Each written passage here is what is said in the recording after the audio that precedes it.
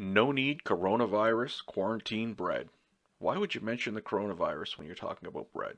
Well, we're all on short supply, and I don't feel like going out to the grocery store again. So this bread only requires three cups of any kind of flour, one quarter teaspoon of yeast, any kind of yeast, and one teaspoon of salt. Okay, before we get started, please take a moment to like and subscribe. It's free and it'll help me out. Okay, let's get started right now.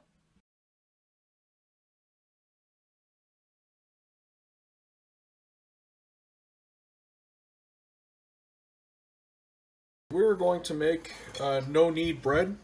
Basically, I have four cup or three cups. Sorry, three cups of flour.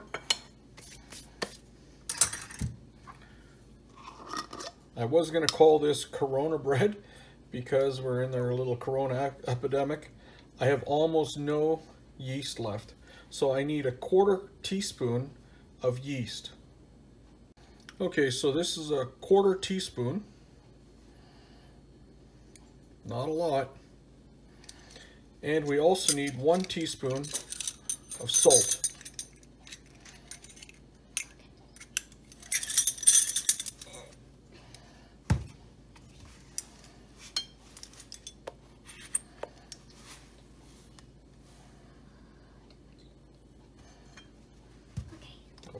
off about that much. So then we're going to give this a bit of a mix up. Give that a little bit of a mix.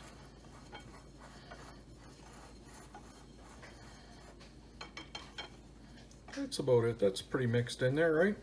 Mm -hmm. So we mix that up here. So now I need some water. I'll get the water one and a half cups. One and a half cups of water. And you don't want it to be hotter than 130 degrees. So I'll set that guy in there.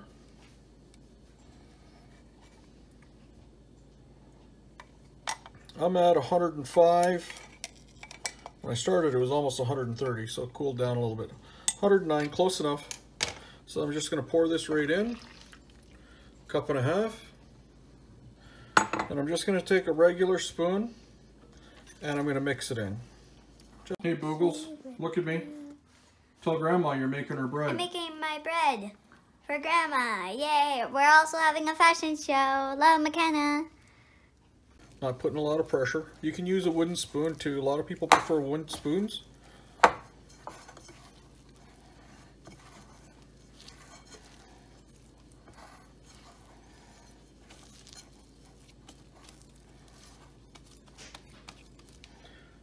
Try to get all the excess off you can. And it's a very sticky dough.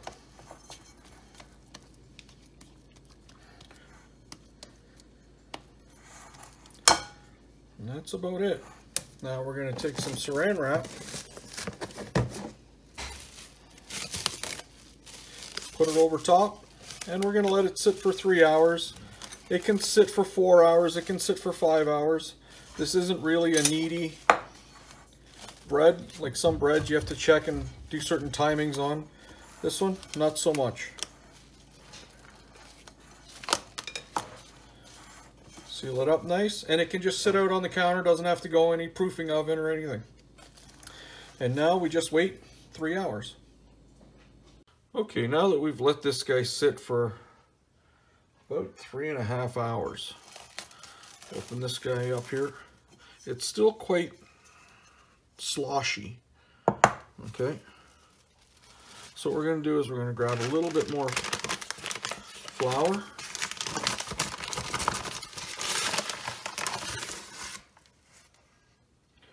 Spread it on a little bit. I'm to flour the area here.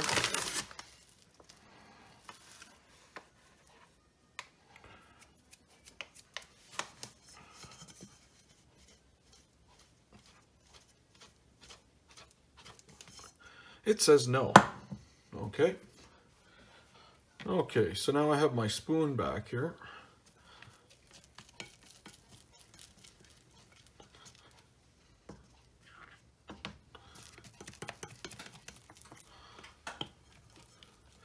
Try to convince it that it wants to come out.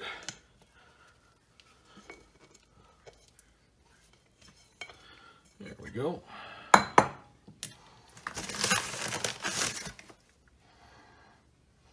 Sprinkle. This is a very little flour. I'm going to use a just a piece of plexiglass that I had in the garage.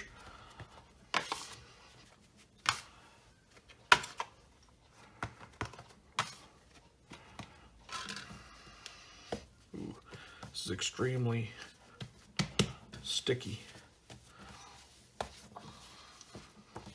Just roll it in onto itself.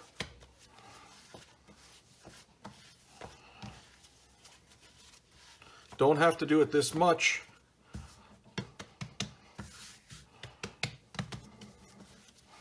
Just want it to be in a ball shape.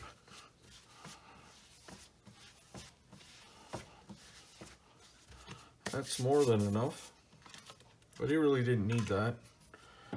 So now what I want is some parchment paper. So I'm just gonna take a piece. It's way too big, but that's fine. Take a piece, set it in the center. Okay, now that we have our bread here, all ready to go, all I'm gonna do is clean my bowl out again. I'm gonna put it back in the bowl for a little bit. Just let it sit there. It'll rise up a little bit more. Now I'm gonna take my Dutch oven here and I'm going to put it in the oven.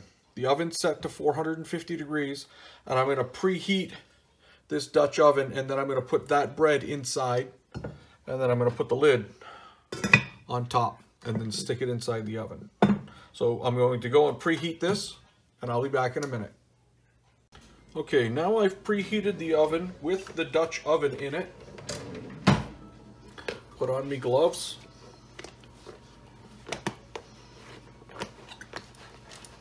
Because this guy's going to be hot. This is a granite countertop, so I can put the top or the pot right onto this. Oh. Yeah, that guy's warm.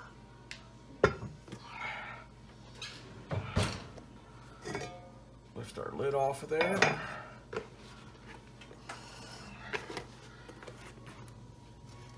I don't want to touch that pot at all, at all for any reason, because it is hot.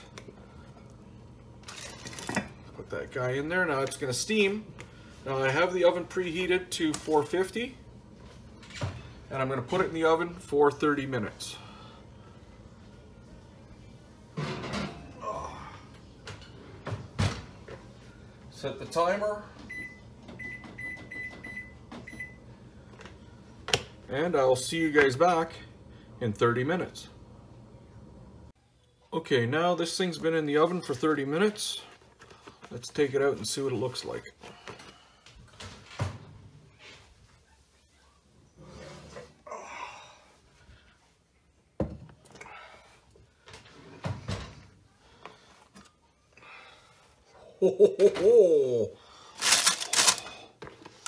And that looks pretty sweet.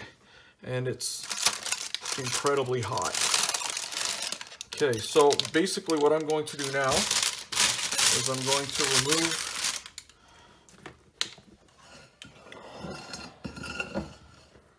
remove that guy. So I'm basically going to take the bread I'm going to put it back in, uncovered,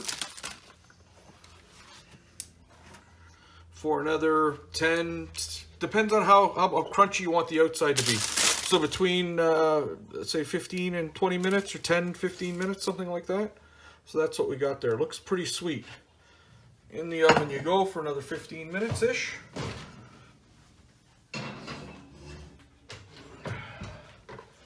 Set the timer.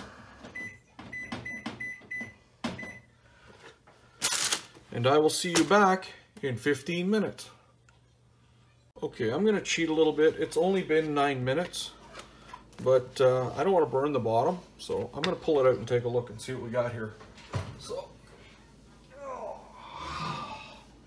oh look at that. That looks awesome. Okay, let's turn the stove off there. And I do not, do not, do not want to touch this bad boy at all. Gonna get one of my racks ready here.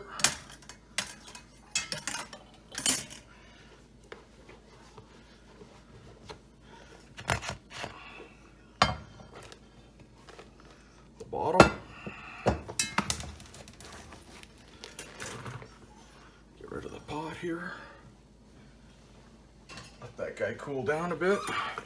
Let this guy cool down for a couple of minutes and then I'll come back and I'll cut it and we'll see what it looks like on the inside. It looks yummy. Okay, I think this guy's cooled down enough. I can handle it. Oh yeah, that's fine. So what I'm going to do is switch over from my little rack here to here. Let it cool for about two or three minutes. Got a knife here. I don't want to cut it in the center. Listen, listen. Oh, that sounds sweet. Oh, it's still hot. Oh, she's steamy oh, and nice and fluffy on the inside. That is.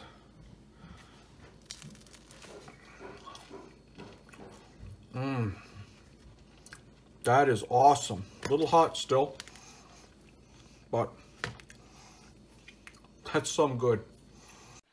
This bread is as awesome as I said it is. You really, truly need to try this. Okay, well, thanks for watching, and uh, don't forget to like and subscribe. It's free. It'll help me out. All you have to do is click on the icon of my face, and I'll do the rest.